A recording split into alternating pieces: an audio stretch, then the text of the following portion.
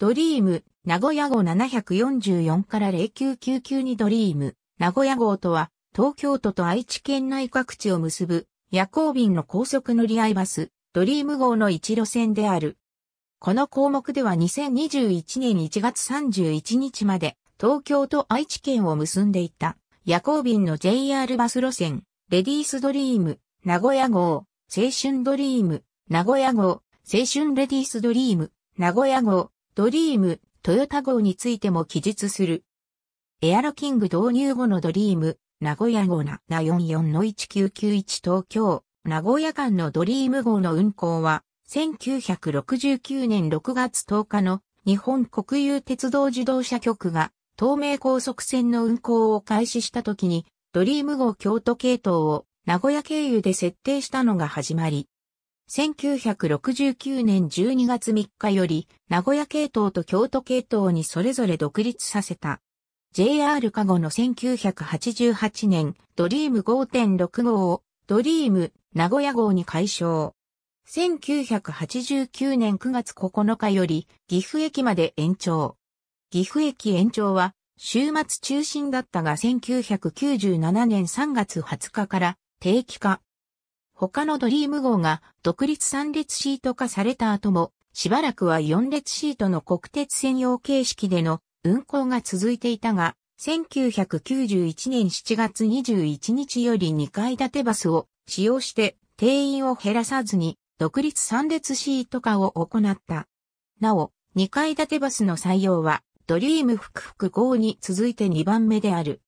1991年7月26日からは岡崎市から豊田市、瀬戸市を経由するドリームトヨタ号の運行を開始した。ドリームトヨタ号もドリーム名古屋号と同様に周遊券での利用も可能であった。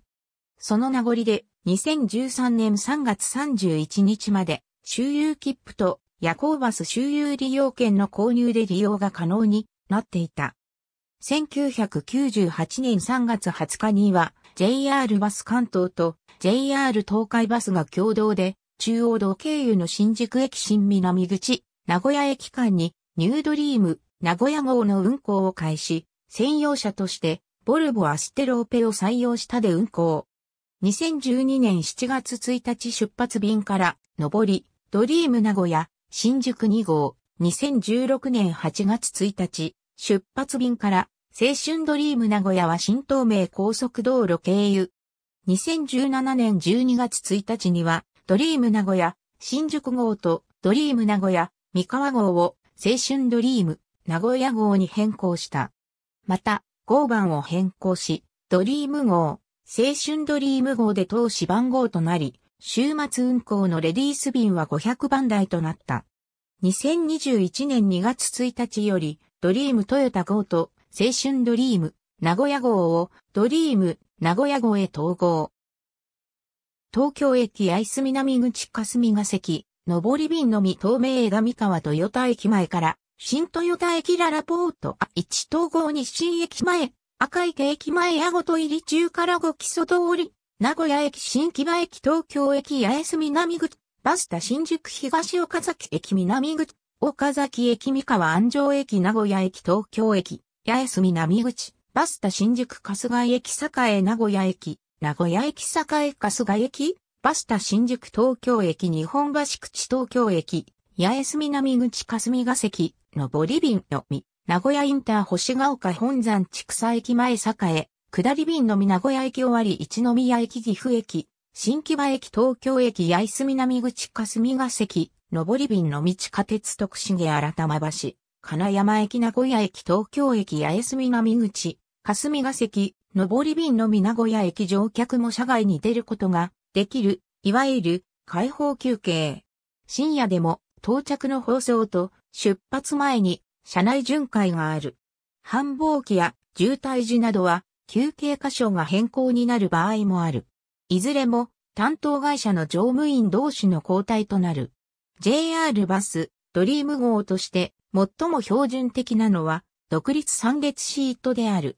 女性専用として、レディースドリーム号、上級クラスとして、ビジネスシートやプレミアムシートがある。格安便は4列シート車両の青春ドリーム号がある。4列シートのドリーム、名古屋号はハイデッカー車両。他は2階建て車両。車内禁煙、トイレ完備。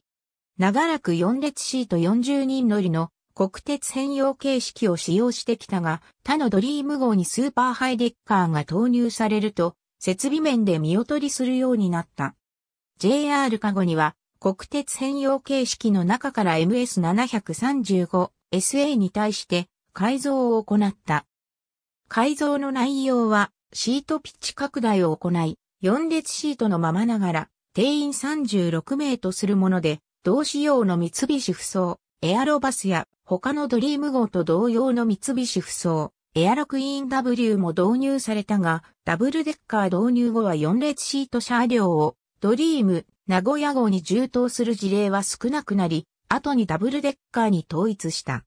青春ドリーム、名古屋号運行開始当初は、中高便の透明ハイウェイバスなどと共通の一般的な補助席付き4列シート車両であった。ドリーム号に関するカテゴリー。ありがとうございます。